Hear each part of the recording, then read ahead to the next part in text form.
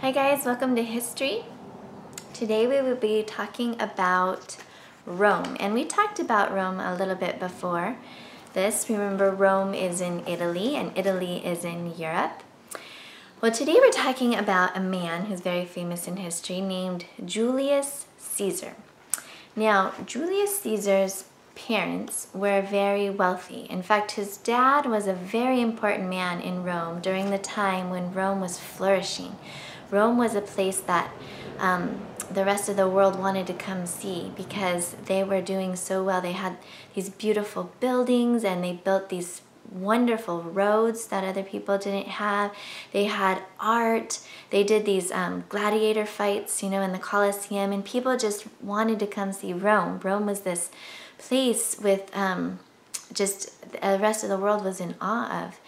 And Julius Caesar happened to be born in Rome to parents who were wealthy. In fact, his father was also, um, he helped make the laws or the rules. So he was probably a politician in Rome.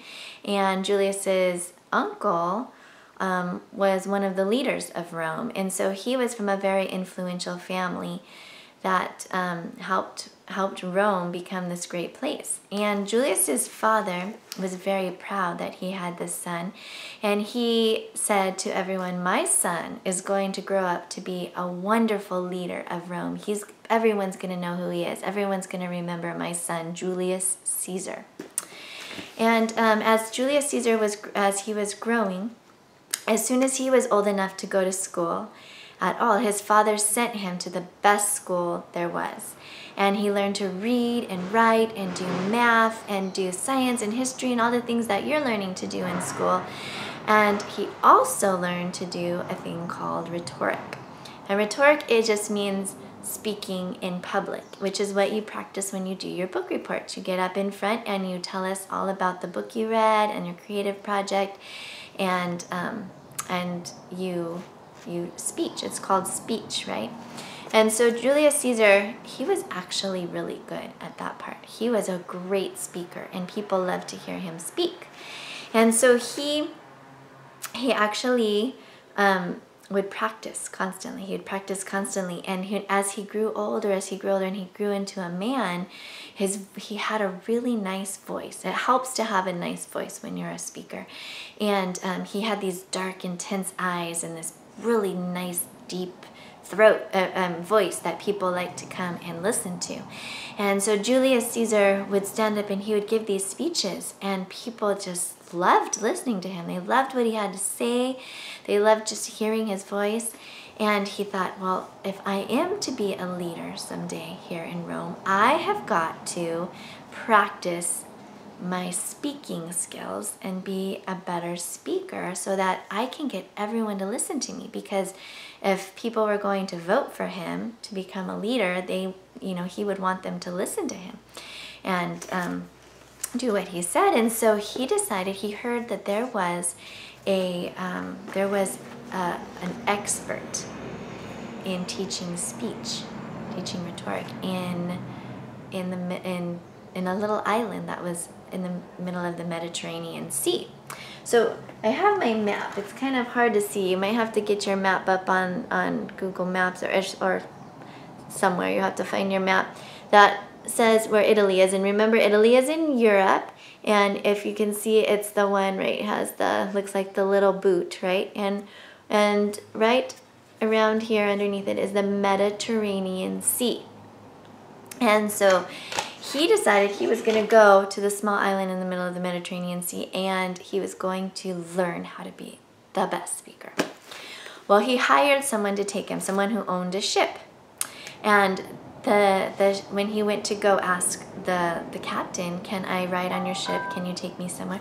The captain said, um, well, okay, but to the area where you want to go, there's pirates. And pirates, you know, they, they are not kind people. They will just come and take whatever they want. They'll capture us. They'll take my ship. They'll take my supplies off my ship. They might even take the people off my ship. I'm scared of the pirates. I don't really want to go to that part of the Mediterranean Sea. But if you really want to go and you have a lot of money, if you pay me extra, lots and lots of extra money, I will take you to the island in the Mediterranean Sea. So Julius Caesar said, Well, I've got to learn, so, and I have a lot of money. So here's my money, let's go. And they got on the ship and they were sailing, and they, they hadn't been sailing very long when all of a sudden, these, they, they saw a ship coming behind them and they recognized it as a pirate's ship. And they were, they were, the captain was terrified and he tells everyone, come put up the sails, we gotta sail faster. Hurry, hurry, we've got to try and get away from these guys. And they tried to sail as fast as they could, but the pirates were faster and they caught up to the ship and they took it over and they captured the people on the on the ship and they took all the goods off the ship, everything they wanted. And um, when they had their group of captives, they looked kind of in the middle of them, and most of them were the sailors, but there was Julius Caesar in the middle. And Julius Caesar was dressed in his really nice clothes, right? He was dressed all nice and he looked important and he acted important. In fact, he was standing there like, oh, these people. And the pirates saw him and they went up to him and they said, hmm, you look important. You look rich.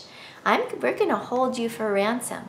And they took him onto their ship and they, they sent back, um, they sent back a, a note saying that that they had Julius Caesar and that they wanted a ransom for him. And they told Julius Caesar, we're going to ask for a $100,000. And Julius Caesar said, $100,000? I'm worth more than that. Try $250,000 at least.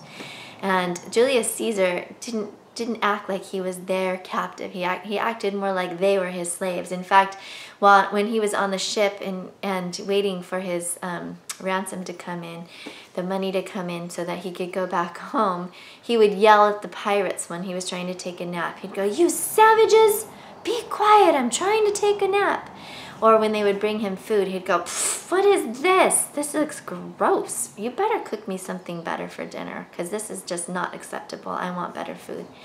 And, and the pirates actually thought he was funny. He was actually funny. And um, finally, his ransom came in and they were ready to let him go. And he said, You know, I I'm going to come back for you. This was unacceptable. You cannot you cannot capture me. I'm Julius Caesar. You cannot capture me. I'm going to come back for you.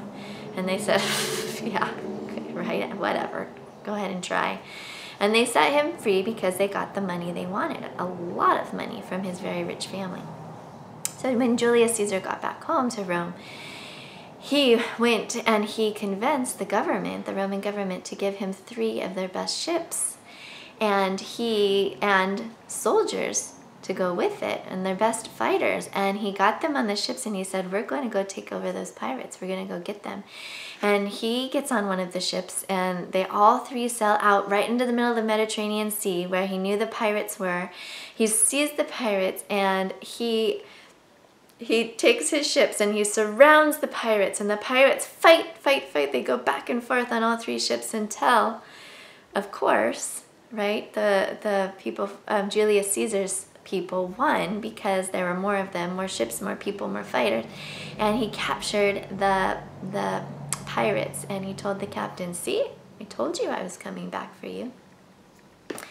And um, Julius Caesar captured him and took him back to Rome. And, um, and, and um, the pirates no longer were pirates. So, um, he was a he was a very strong man, a very confident man. Julius Caesar was, and um, he did enjoy being in Rome and learning things in Rome. And he also enjoyed sailing on ships. And so today, if you look in your packet, the um, paper behind um, your your direction sheet, there is um, a bunch of flags called maritime flags and what they are, are they, they were flags that people on the ships a long time ago would communicate with. They, if they wanted to communicate with another ship or with, you know, anyone at another boat on, and they couldn't hear them, right? It was difficult. It's, if you ever yelled kind of at someone in the ocean, they can't even hear you when they're a little bit in the ocean, right? But if you're in a ship, you really can't hear each other. So they would communicate with these big flags. And so I have some um, I have some supplies for you in your packet to make a flag. You can make as many as you want. You can see underneath it says what they mean and you can recreate them and you can communicate today with your family. There's a flag that says yes, there's a flag that says no, and you can communicate with your family with your flags and see how that goes today, okay? Have fun making your flags.